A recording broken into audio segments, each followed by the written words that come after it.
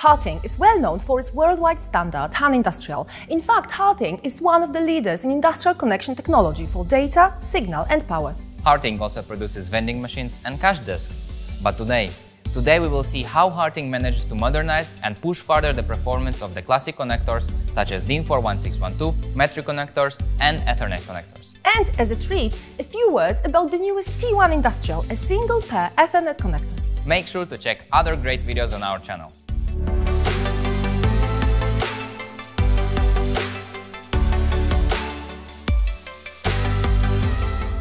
Open architecture is a key feature when it comes to competition and innovation. However, before components and interfaces could work together, you need a standard. For rack-based electrical systems, circuit boards and back panels, the answer was and still is the DIN 41612. It stands for Deutsches Institut für Normung, the most important national standards organization in Germany. DIN 41612 became very popular and was adopted by other organizations like IEC and EN. However, it is still mostly recognizable as DIN 41612. The connector comes in one, two or three rows and can reach up to 96 contacts. The DIN power connectors have a 5.08 mm pitch. They are a great choice for applications that require robustness and high currents up to 15 amperes per contact. They come in all DIN construction types, have low contact resistance, and with the full metal version, you can ensure continuous shield from the cable to the rack. The DIN signal is the regular connector that we have already mentioned. It's mainly used in rack-based systems and back panels. The most common ones have two or three rows with 16 or 32 contacts per row, 2.54 mm pitch, and can withstand up to 2 amperes. The connector has multiple connection options such as PCB to PCB, mezzanine to PCB, or cable to PCB. The question is if it can withstand applications with harsh conditions like train control models. Yes, it can. Harting developed a unique full metal housing made of die-cast zinc that is compatible with F and MH types. This connector provides with EMC protection, racked housing and easy assembly.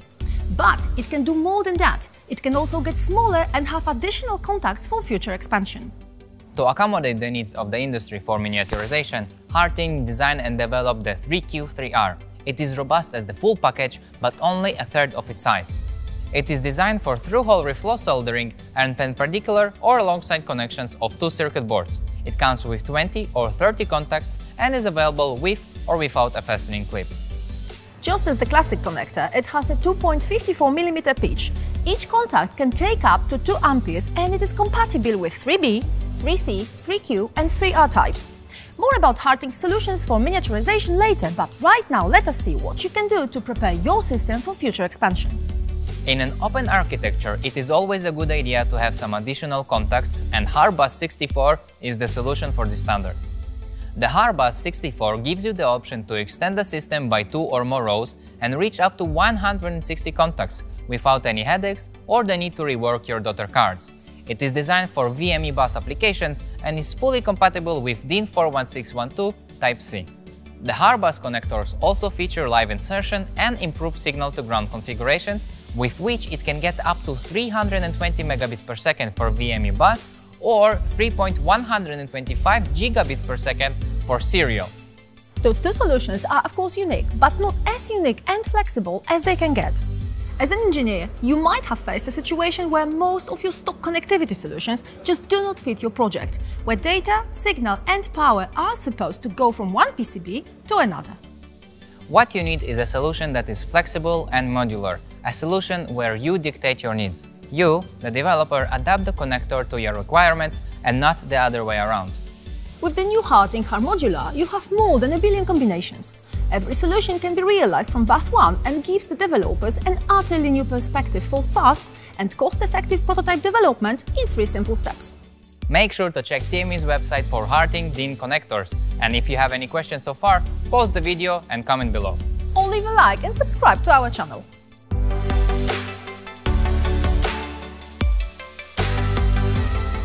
Have you noticed that most of the connectors around us are rectangular even in our daily life, only a few of them are round, like RCA or the audio jack. So, if you are into round connectors, then you might be disappointed as most of them have already disappeared. Most of them, but not all of them.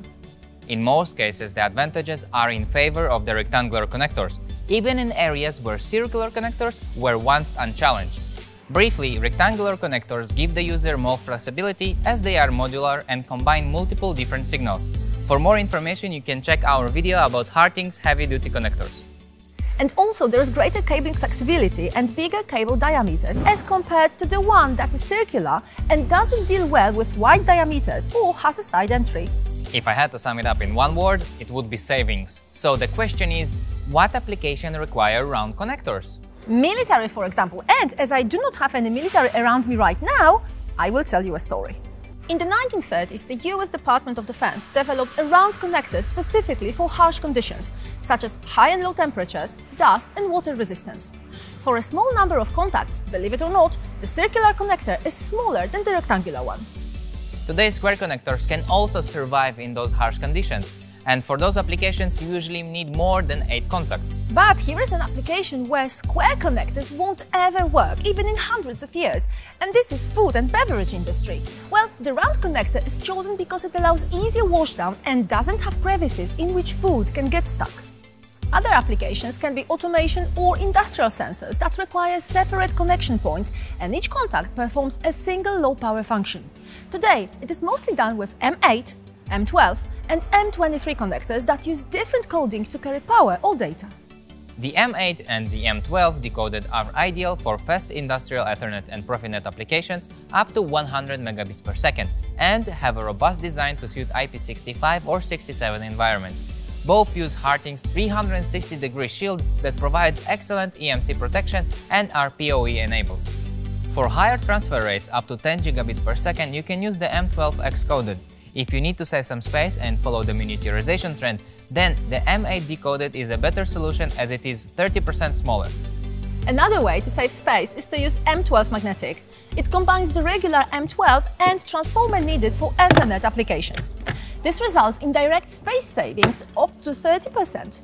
It also simplifies the PCB design, gives you the best signal integrity and power transmissions using PoE+.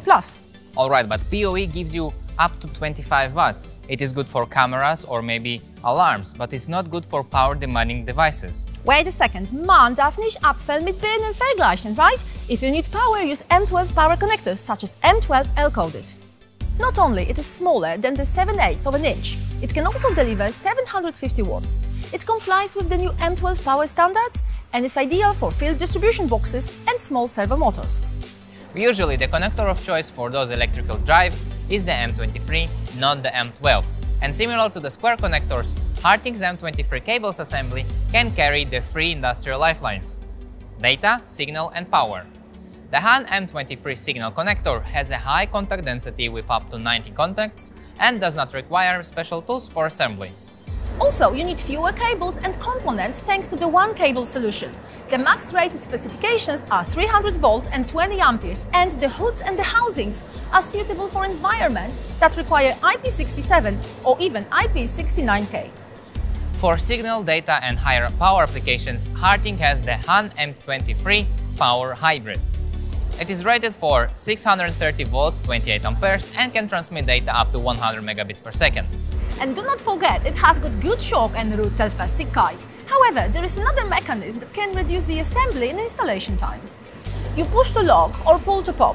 You do not need additional tools. The connection is confirmed with a click and the installation time is reduced by 75%. On the TME website, you will find more of Harting's circular connectors. And other solutions that will take off the stress and allow you to concentrate on real issues like managing your supply chain or training and caring about your workers.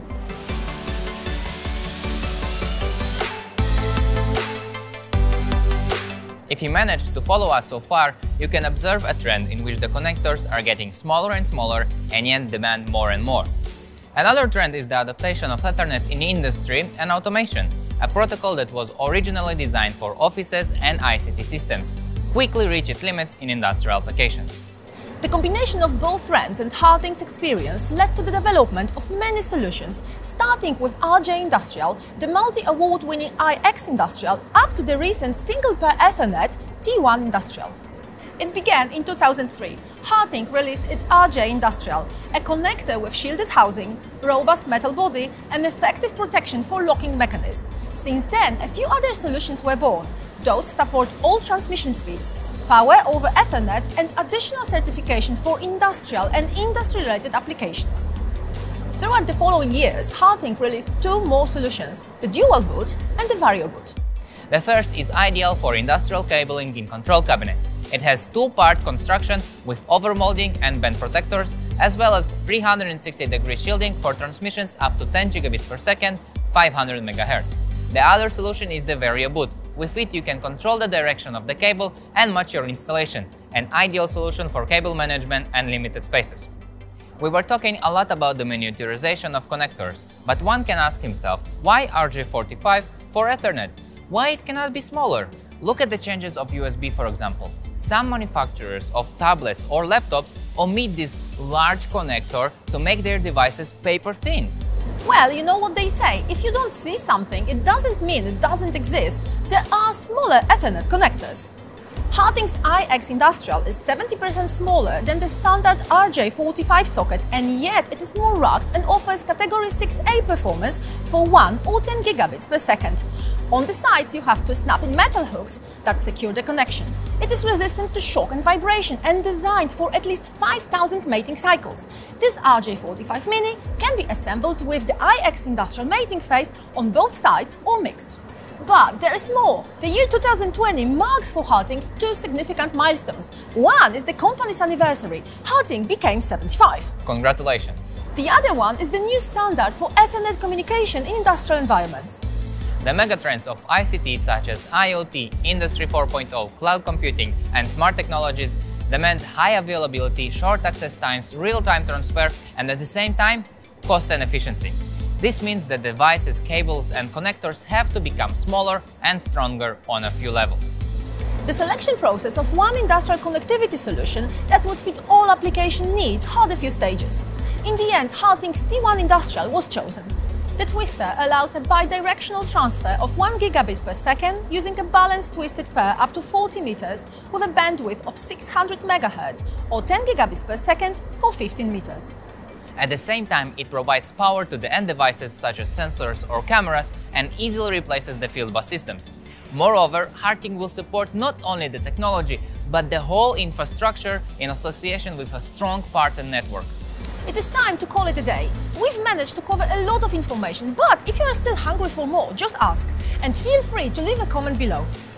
Thank you for watching.